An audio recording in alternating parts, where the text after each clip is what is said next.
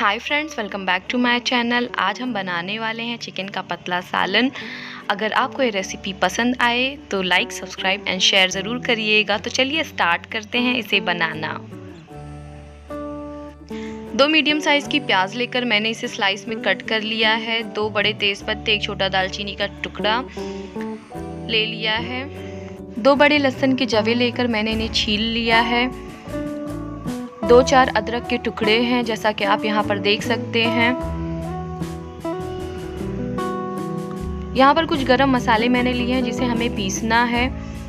डेढ़ चम्मच ज़ीरा, एक चम्मच सौफ, एक छोटा जायफल का टुकड़ा, एक छोटा जावित्री का टुकड़ा, तीन छोटी इलायची, एक छोटा दालचीनी का टुकड़ा, दस से बारह काली मिर्चें। काली मिर्चें आप थोड़ा ज़्यादा भी ले सकते हैं।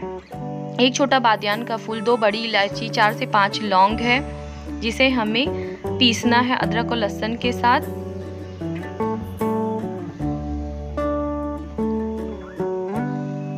यहाँ पर हम थोड़ा सा पानी ऐड करेंगे। मसाले में ज़्यादा पानी नहीं ऐड करना है। यहाँ मैं थोड़ा सा मगज ले रही हूँ। एक कप डेसिकेटेड कोकोनट यानी कि नारियल का बुरादा और आधा चम्मच स्याजीरा मैंने इसमें ऐड किया है। इसे ये सब ऐड करने के बाद मैं इसका एक फ़ाइन सा पेस्ट बना लूँगी। कुछ इस तरह से आप देख सकते हैं। उसके बाद हमें एक कढ़ाई लेना है। कढ़ाई में मैंने दो बड़े चम्मच तेल डाला है। तेल डालने के बाद हमें तेज़पत्ता और दालचीनी का टुकड़ा ऐड करना है। जब वो थोड़ा सा क्रैकल हो जाए तो हमें सारे अनियन जो हमने स्लाइस करके रखे हुए थे, वो ऐड कर देना है। इसे इतना पकाना है कि ये ट्रांसपेरेंट हो जाए। आँच को आपको मीडियम ही रखना है हाई नहीं करना है। आप देख सकते हैं प्याज ट्रांसपेरेंट हो चुकी है तो हमें यहाँ पर चिकन ऐड कर देना। चिकन मैंने वन के जी लिया है।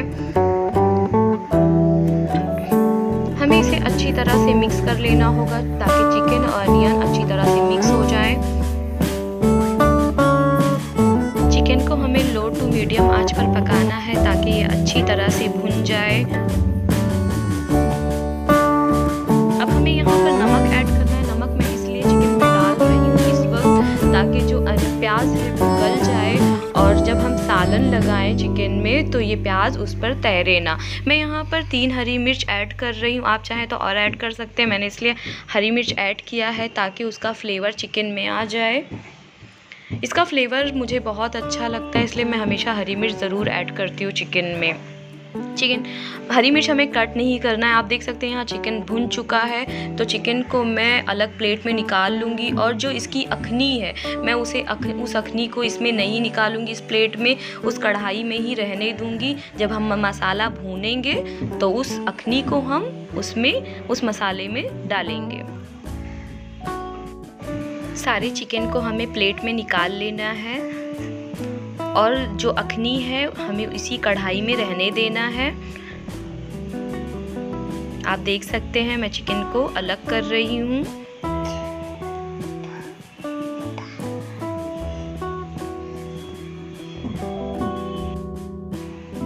बर्तन में हमें दो चम्मच ऑयल ऐड करना है। ऑयल जब गर्म हो जाए तो हम इसमें मसाला ऐड करेंगे, जो हमने मसाला बनाया था। आप जब मसाला डालें तो फिर आपको ढक्कन जल से ढक देना चाहिए, ताकि वो मसाला आपके ऊपर आकर पड़े ना। आप देख सकते हैं, जो मसाला जार में बचा हुआ था, उसे भी मैंने पानी डालकर उसमें डाल दिया है। अब दो चम्मच मैं यहाँ पर रेड चिल्ली पाउडर ले रही हूँ, कश्मीरी रेड चिल्ली पाउडर है और दो चम्मच मैंने धनिया पाउडर लिया है, एक चम्मच हल्दी पाउडर और इन मसालों को मैं अच्छी तरह से मिक्स कर लूँगी। आप देख सकते हैं चिकन की अखनी जो हमने बचाई हुई थी, अब हमें इसे मसाले में ऐड करना है। मसाले में ऐड करने के बाद मसाले को हमें पाँच से छः मिनट तक मीडियम आँच पर भूनना है।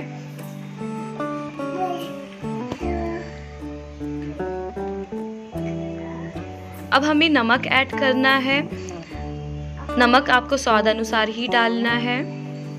आप देख सकते हैं हमारा ऑयल सेपरेट हो चुका है मसाले से, यानी कि मसाला भुन चुका है। यही मसाला भुनने की पहचान है कि ऑयल सेपरेट हो जाता है। अब इस स्टेज पे हमें चिकन को ऐड कर देना है मसाले में। और इसे अच्छी तरह से मिक्स कर लेना है।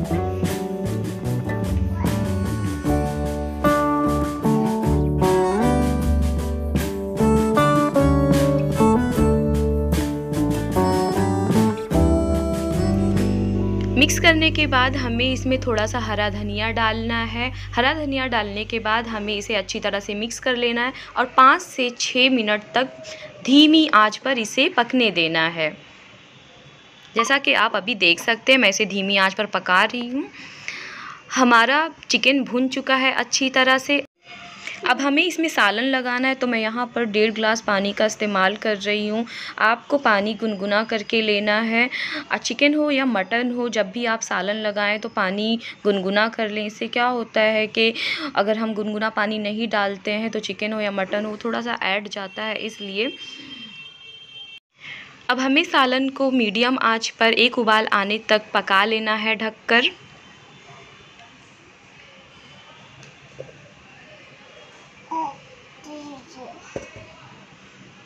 आप देख सकते हैं, हमारा चिकन का पतला सालन रेडी हो चुका है। आप इसे राइस चपाती या फिर पाव के साथ खाएँ, ये बहुत ही टेस्टी लगता है। तो मैंने यहाँ पर थोड़ा सा हरा धनिया डाल दिया है ताकि इसका लुक और थोड़ा सा अच्छा हो जाए। वैसे ही वो अच्छा लग रहा था, ऐसा नहीं कि नहीं लग रहा था। तो आप देख सकते हैं यहाँ पर चिकन का पतला सालन रेडी हो चुका है, ये बहुत ही टेस्टी बना था। तो अगर आपको मेरी ये वीडियो पसंद आई हो तो please like subscribe and share ज़रूर करें। Take care bye bye